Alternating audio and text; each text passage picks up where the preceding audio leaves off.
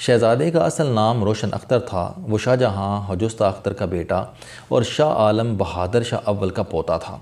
सैयद बरदरान ने उसे जेल से रिहा कराया और 17 सितंबर 1719 ईस्वी को तख्त पर बिठा दिया। उसने अपने लिए नासरुद्दीन मोहम्मद शाह का लकब पसंद किया, लेकिन तारीख ने उसे मोहम्मद शाह रंगीला का नाम दे दिया। मोहम्मद शाह रंगीला एक ऐश तवा गैर मुतवाजन शख्स था। 24 घंटे नशे में धुत रहता था और रक्स, सरूर और फहाशी व उरियानी का दिल दादा था। वो कानून बनाने और कानून तोड़ने के खफ्त में मुबतला भी था। वो एक ऐसा पारा सिफ्त इंसान था जो अचानक किसी शख्स को हिंदुस्तान का अला तरीन अहदा सौंप देता था और जब चाहता था वज़ी अजम को खड़े खड़े जेल भिजवा देता था। वो अक्सर दरबार में नंगा आ जाता था और दरबारी भी उसकी फरमाबरदारी और उसकी अतात गुजारी में कपड़े उतार देते थे। वो बाज़ अवत जोश इकतदार में दरबार में सरेआम पेशाब कर देता था और तमाम मुज्ज़ वज़रा, दिल्ली के शरफा और उस वक्त के उलमा और फजला वाह वाह कहकर बादशाह सलामत की तारीफ़ करते थे। वो बैठे बैठे हुक्म देता था कि कल तमाम दरबारी जनाना कपड़े पहन कर आएँ और फ़लाँ फ़लाँ वज़ीर पाँव में घुंघरू बांधेंगे और वज़रा और दरबारियों के पास इनकार की गुंजाइश नहीं होती थी।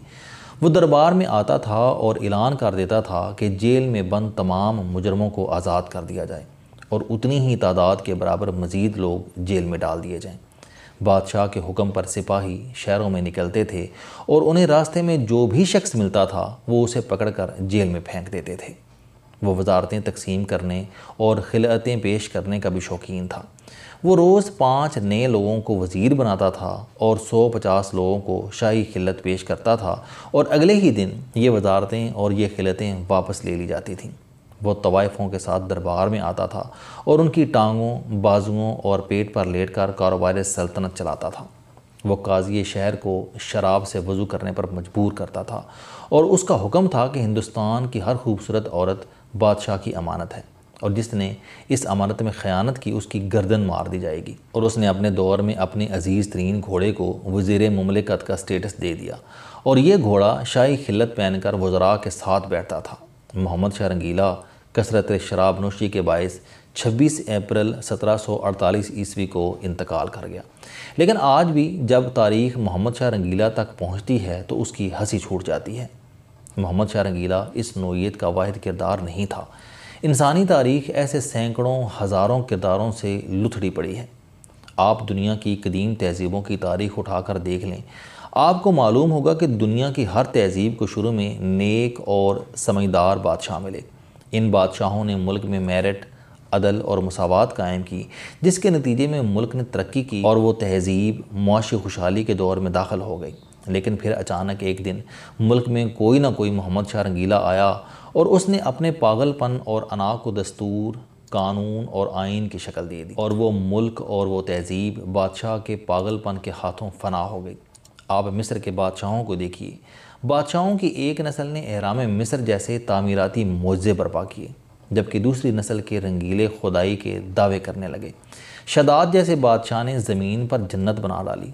नमरूद ने आग दहकाई और हज़रत इब्राहीम इस्लाम को उस आग में धकेल दिया और एक बादशाह ने अल्लाह के नबी को आरे से चीरने का हुक्म दे दिया।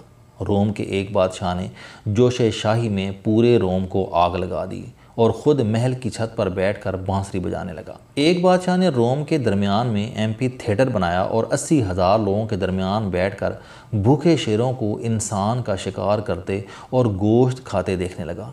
रोम के एक बादशाह ने अपनी सगी बहन से शादी कर ली। यूनान का एक बादशाह मलका के साथ बरहना बाहर निकला और आवाम को हुक्म दे दिया कि तमाम लोग बआवाज़ बुलंद कहें कि बादशाह ने बड़ा खूबसूरत लिबास पहन रखा है। ईरान का एक बादशाह अपनी मलका के साथ शतरंज खेलता था और उसकी बाजी के दौरान अगर मलका हारती थी तो वो बादशाह को एक ग़ुलाम पेश कर देती थी और अगर बादशाह को मात होती थी तो वो एक ग़ुलाम मलका के हवाले कर देता। ये ग़ुलाम खेल के आखिर में सरेआम ज़िबा कर दिए जाते थे। हिंदुस्तान का एक बादशाह कुतुबुद्दीन मुबारक शाह हम जिन्स परस्त था। वो एक हिंदू लड़के पर आशिक था। बादशाह एक दिन दुल्हन बनता था और हिंदू लड़का दुल्हा। दरबार में दोनों का बाकायदा निकाह होता था। रुखसती होती थी, वलीमा होता था और सारे अमायरीन सल्तनत जोड़े को बाकायदा सलामियाँ देते थे। दूसरे दिन वो लड़का दुल्हन और बादशाह दुल्हा बनता था और उस तकरीब में भी तमाम दरबारी और शराफा शरीक होते थे। फ्रांस के बादशाहों ने एक तवील अरसे तक गसल को खिलाफ कानून करार दिए रखा था। बरतानिया के एक बादशाह के दौर में शादियों पर पाबंदी थी और जब तक कोई शहरी बादशाह से सर्टिफिकेट नहीं ले लेता था, उस वक्त तक उसे वजीफ़ा जोजियत अदा करने की इजाज़त नहीं होती थी। इस इजाज़त को fornication under consent of king कहा जाता था और अंग्रेज़ी का लफ्ज़ एफ़ यू सी के इसी इजाज़त नामे का मुखफ़ है। अमीर तैमूर इस्लामी दुनिया का बहुत बड़ा हीरो था। लेकिन वो कत्ल और इल्म के खपत में मुबतला था। उसने अपनी ज़िंदगी में चौवन ममालक में खोपड़ियों के मीनार बनवाए और कराम को जमा करके कुरान मजीद की तरतीब बदलने का हुक्म दे दिया। चीन के एक बादशाह ने मुर्दों को बुरका पहनने और औरतों को अंडर गारमेंट्स में बाहर आने का हुक्म दे दिया। जापान के एक मोहम्मद शाह रंगीला ने कश्ती बनाने की सज़ा मौत तय कर दी और दूसरे ने दाल पकाने को नाकबले ज़मानत जुर्म करार दे दिया। इटली के एक बादशाह ने औरतों के हंसने पर पाबंदी लगा दी, जबकि दूसरे ने कानून बना दिया कि सल्तनत की तमाम औरतें दांतों पर राख मला करेंगी। ये वो वक्त था जब लियोनार्डो ड्यूंची मोनालिजा बना रहा था। शायद यही वजह है कि इस पेंटिंग में मोनालिजा ने होंठ भेज रखे हैं, और पोलैंड के एक मोहम्मद शाह रंगीला ने मुल्क की तमाम औरतों को कुत्ते पालने का हुक्म दे दिया था। आप तारीख का कोई बाब उठा कर देखें, आपको उसमें बेशुमार मोहम्मद शाह रंगीले मिलेंगे।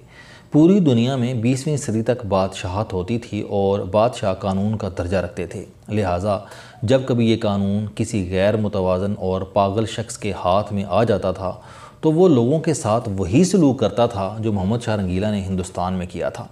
इंसान ने दस हज़ार साल के सफ़र के आखिर में सीखा कि इख्तियार फ़र्द वाहिद के पास नहीं होने चाहिए, क्योंकि इकतदार की आखिरी सीढ़ी पर पहुँच अक्सर बादशाह जहनी तोज़न खो बैठते हैं। और फिर वो लाखों करोड़ों लोगों के मुकद्दर का फ़ैसला अना और गरूर से करने लगते हैं, जिसके नतीजे में मुआरे के तार पोल हिल जाते हैं। चुनाचे दुनिया के 245 ममालिक में से एक सौ इक्यानवे मुल्कों में लोगों ने बादशाहों के इख्तियार मुख्तलिफ़ इदारों में तकसीम कर दिए, जिसके नतीजे में मोहम्मद शाह रंगीलों का सिलसिला भी रुक गया। और रियाया भी इंसानी हकूक़ इंसानी शूर और इंसानी इज़्ज़त नफ्स के दौर में दाखिल हो गई इस दौर में हर वो मुल्क तरक्की अमन व अमान और सुकून की लज्जत से आशना होता चला गया जिसमें इख्तियार और इकतदार इदारों के पास था और ये इदारे कानून के दायरे में रहकर काम करते थे। जबकि वो तमाम मुल्क खलफशार, बदअमनी, खाना जंगी और खाना बर्बादी का शिकार होते चले गए, जिनमें फ़ैसले एक शख्स या चंद लोगों के तक महदूद रहे और बदकस्मती से हमारा शुमार दूसरी फहरिस्त के लोगों में होता है। मैंने कल ही अखबार में पढ़ा कि हुकूमत अदलिया को कंट्रोल करने के लिए आइन में एक नई तरमीम ला रही है। इस नए आइनी बंदोबस्त के बाद हुकूमत, सुप्रीम कोर्ट के किसी भी जज को चीफ जस्टिस लगा सकेगी और ये चीफ जस्टिस सिर्फ़ दो बरस तक उस अहदे पर मुतमक्न रह सकेगा। और इस दौरान भी अगर हुकूमत को महसूस हुआ कि चीफ जस्टिस ठीक काम नहीं कर रहा तो वो उसे हटा भी सकेगी। मैंने जब ये ख़बर पढ़ी तो मुझे महसूस हुआ कि पूरी दुनिया ने दस हज़ार साल में मोहम्मद शाह रंगीले से जॉर्ज बुश, गोल्डन ब्राउन और ली को ऑन यू की तरफ़ सफ़र किया। लेकिन हम इक्कीसवीं सदी में भी मोहम्मद शाह रंगीले की तरफ़ लौट रहे हैं और पूरी दुनिया शख्सी इख्तियार से इदारों की तरफ़ आ गई है। वो बादशाहों से जमहूरीत दरबारों से पार्लियामेंट और ज़िले सुबहानी से आज़ाद अदलिया की तरफ़ पहुँच गई है। लेकिन हम अदलिया पार्लियामेंट और इंसानी हकूक़ को वापस एक बादशाह की ज़ात में जमा कर रहे हैं। क्या बात है हमारी। हम वो लोग हैं जो तारीख़ के धारे से उलट सफ़र कर रहे हैं, लेकिन साथ ही हमें अपनी कामयाबी का भी यकीन है। हम क्या ज़बरदस्त लोग हैं। हम गर्म तोदे पर बर्फ़ जमाने की कोशिश कर रहे हैं। हम इक्कीसवीं सदी में भी मोहम्मद शाह रंगीले का दौर वापस ला रहे हैं। अस्सलाम वालेकुम दोस्तों। इल्म दोस्ती चैनल बनाने का मकसद मोटिवेशनल और ज़िंदगी बदल देने वाली कहानियाँ आप तक पहुँचाना है। मुझे खुशी है कि आप आप को ये वीडियोस बहुत पसंद आ रही हैं। कोई भी शख्स जो मायूसियों में घिरा हो या कोई भी शख्स जो अपनी ज़िंदगी मुस्बत अंदाज से गुजारना चाहता है, उसके लिए ये चैनल लाइफ चेंजिंग साबित होगा। मेरा दावा है कि कोई भी शख्स अगर इस चैनल की वीडियोस देख और सुन लेगा तो उसकी ज़िंदगी बदल जाएगी। अगर आपको ये चैनल पसंद आए तो इसे सब्सक्राइब करना ना भूलें, ताकि हर नई आने वाली वीडियो आप तक पहुँच सके। इस वीडियो को दूसरों तक ज़रूर पहुंचाएँ, क्योंकि ये सदका जारिया है।